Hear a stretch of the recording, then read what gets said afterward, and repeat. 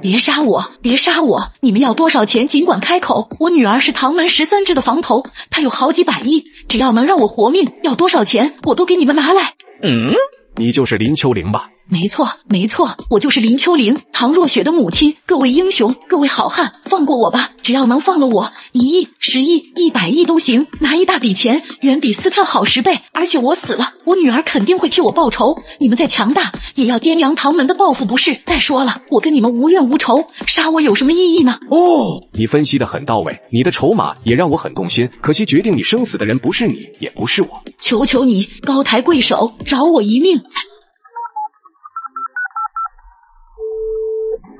害猪大人，林秋玲找到了，他还活着。下一步我们怎么处理他？要不要我再设一局，用他把叶十三引诱过来杀掉？事情有变化，最新指令杀了他。可是他还有价值。黄狗兵，你多嘴了，执行命令吧。黄狗兵知错，我马上把他解决。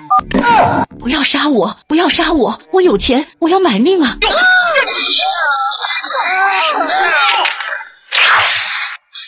叶十三，没想到你竟然找到了这里，给我上，杀了他！卡通，我干净我之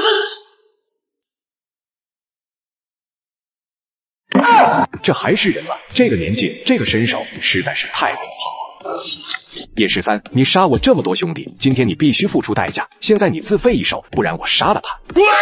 叶十三，赶紧给我站住！快废掉一只手，不要让好汉发怒。我如果有什么事，我饶不了你。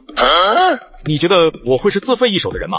哼，少废话，给你三十秒，你不自废一手，我就杀了你丈母娘。叶十三，你这个天杀的，你不是来救我的吗？为了我能活命，你废一只手怎么了？就是拿你的命来换，你也应该毫不皱眉。你别忘了，唐家养了你一年，还给了你妈五十万治病，而且我是因为你才被绑架的。我有三长两短，你对得起我，对得起若雪，对得起唐家吗？把嘴给我闭上！你以为我自废一只手，你就能活命吗？我不管，反正我有什么不测，我做鬼也不会放过你，若雪也不会放过你。叶十三，你还是乖乖自废一只手吧，不然你可就对不起你丈母娘了。我可以向你保证，只要你砍掉一只手，我马上放你丈母娘回去。哦，听到没有？只要你断了手，我就能活命，还能马上离开。好汉他们都是一言九鼎的主。叶十三，你现在赶紧给我断手！你想太多了，我今晚过来就是要杀光你们，落个清净。你在挑战我的耐性。叶十三，你这个废物，你要害死我吗？其实你可以多捅几刀的，甚至我希望你能一刀宰掉他。叶十三，你什么意思？哼，这老女人过去一年里整天羞辱我、打骂我，就是现在也总跟我作对。我跟唐若雪一直无法复婚，也是她从中搞了一堆幺蛾子。我心里早就想要她死了。啊你这么恨她，为什么还过来救她？谁告诉你我过来是救她的？我今晚过来就是杀光你们，包括她在内。你现在劫持她，正中我下怀，动手吧！叶十三，你个王八蛋，你太歹毒了！我怎么就养了你这个白眼狼？不仅害我被绑架，还要借刀杀人，要我的命！我告诉你，我死了，做鬼也不会放过你！我发誓，你这辈子都别想跟若雪复婚了！你们全部上路吧！十万！十三，你。若雪，他想要我死，他亲口承认的。他今晚过来，不仅要杀凶徒，还要杀我。凶徒不肯杀我，他就连我也捅了。我感觉要死了。快救林阿姨！哼，叶十三，你还真是毒辣呀！自己招惹杀手牵连林阿姨就算了，你不积极解救也就算了，可你不该一边喊着救人，一边麻痹若雪。你跟林阿姨闹过矛盾可以不救人，但你不该阻挡若雪尽一个女儿的本分。现在更是亲自捅人，如不是我们及时赶到，林阿姨现在已经被你杀死，然后嫁祸到杀手头上了吧？你也觉得我要杀你妈妈？十三，我知道他给你太多羞辱，我也知道你恨他，可他最不该死，是不是？你为什么一定要他命呢？你还是不信任我？我也想要信你，可这个样子，你让我怎么信你？哼，既然你已经认定我要杀林秋玲了，我再怎么解释都没用了。白眼狼，别再欺骗我女儿了！你告诉若雪，你有没有说过你想要我死，想要借刀杀人？没错，我说过。听到没有，若雪，他承认要杀我了，报警，让警察把他绳之于法。叶十三，你还有什么要说的？如果我要杀林秋玲，他就不可能还活着。我杀人没这么差劲。哼，那是汪少和若雪来得快，再迟一秒，你就把我开膛破肚了。若雪，不要再庇护这白眼狼了，快叫警察来抓他！